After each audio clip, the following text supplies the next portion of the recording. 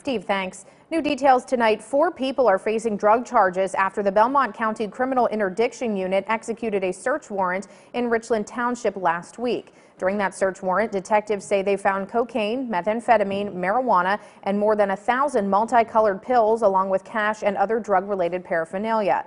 The four arrested include Cleveland resident Stanley Smith, Bethesda resident Aubrey Kemp, St. Clairsville resident William Morgan, and Ricky Temple. For a full look at all of their charges, you can visit our website. That's WTRF.com.